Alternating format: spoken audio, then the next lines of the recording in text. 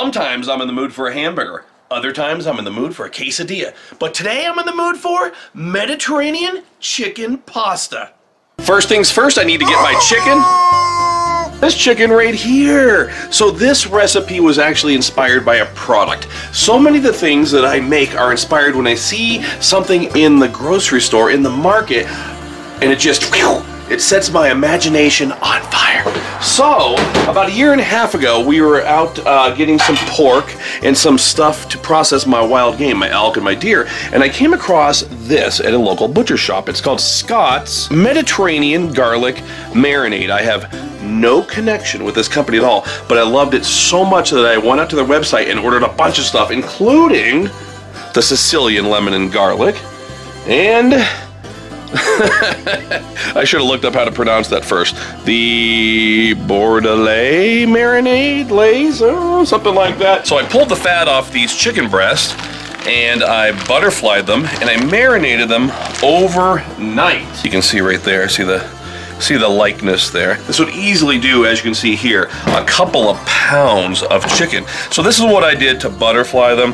Uh, I just took your standard chicken breast. Go ahead and pull any amount of fat, like right there. Pull off any extra fat like that.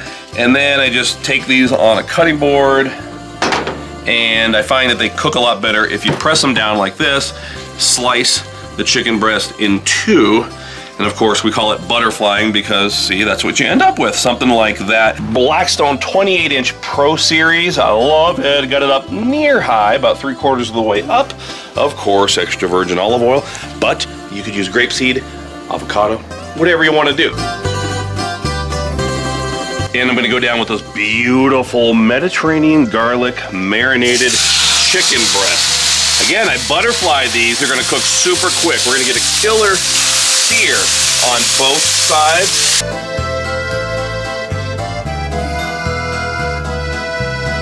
In for the flip. Check out that color. Look at that.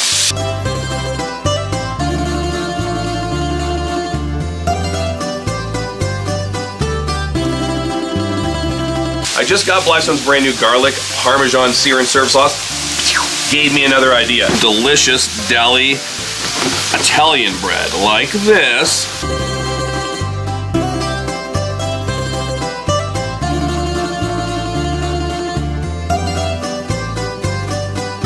Then straight back to my chicken. I believe these are done and perfect. I'm gonna pull these aside for now. And we'll put that Italian bread garlic Parmesan side down on the griddle. This is experimental. This may or may not work. Let's go in for the flip. Right there, that's what I'm looking for. So some good, oh yeah, look at that. Good garlic Parmesan flavor. And then I've got some Mezzetta roasted red bell peppers. These are so good. And I use these in so many recipes around my house. Check it out. We are actually gonna use all of these and the included sauce. Oh yeah. So down with a little olive oil and I boiled some pasta, some fettuccine inside. You could certainly do this outside if you have a range top. I don't have a range top out here right now, so I did this inside on my home range top. We're gonna go down with that fettuccine. The fettuccine is gonna get all those roasted red bell peppers. By the way, come on, give me a thumbs up for that color alone. That looks amazing.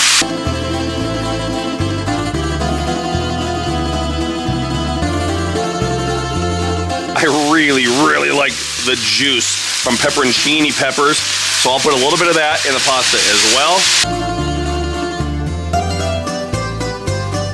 A couple sprinkles of the Blackstone Tutto Italiano. Oh my goodness. I have some fresh basil leaves here. I'm gonna put some in the recipe and the rest of it we're gonna sprinkle on top for that nice finishing garnish.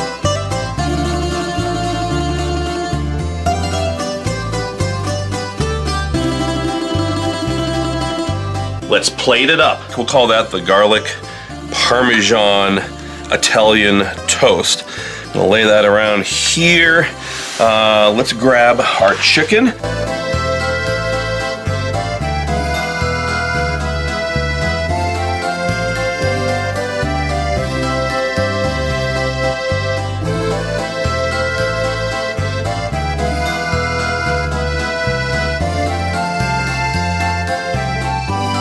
Grab the remaining fresh basil leaves.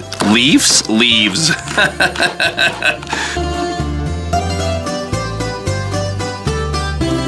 you have to have fresh Parmesan, Asiago, or a good Italian cheese. Here we go.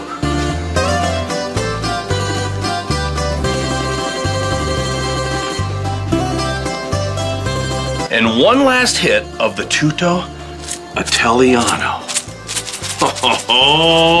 Take a look at that. I actually developed this recipe a couple weeks ago. I got the first bottle of the uh, Mediterranean garlic marinade in the mail and uh, tried this like 10, 11 at night. Fell in love with it, so I've been dying to make this. And I certainly hope that it looks as good on camera as it does here in person. And I'll just make a little side plate here for myself. Make sure I get some of the basil in there and some of those roasted red bell peppers some of that chicken on top, a little bit like that. And of course, got to get myself a piece of that garlic toast. Let's give it a try.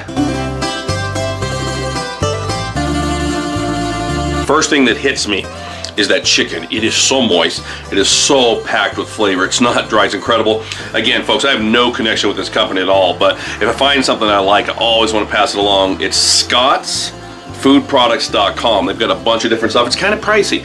It's about, you know, compared to your grocery store, that's about eight bucks or so, but you can do several pounds of chicken.